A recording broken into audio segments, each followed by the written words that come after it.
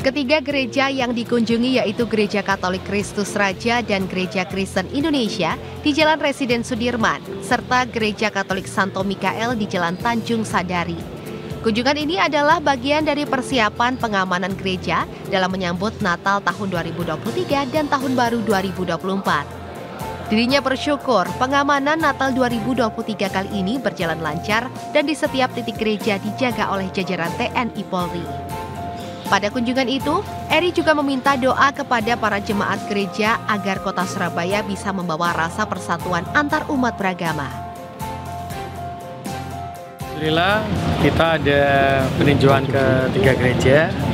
Alhamdulillah semua berjalan lancar dan di setiap titik ada bagian dari TNI Polri yang memberikan rasa aman kepada jamaah untuk beribadah karena di sana diletakkan personel-personelnya TNI Polri.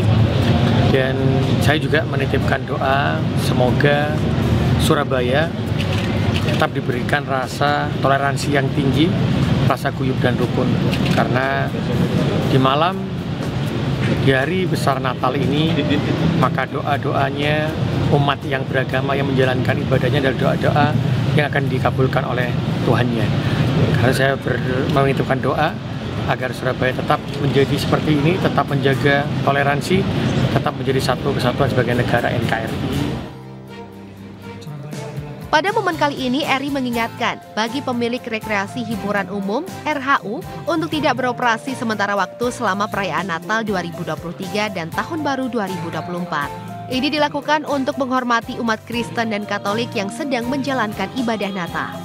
Penutupan RHU sesuai dengan SE Wali Kota tentang peningkatan keamanan, ketentraman, dan toleransi pada Natal 2023 dan Tahun Baru 2024.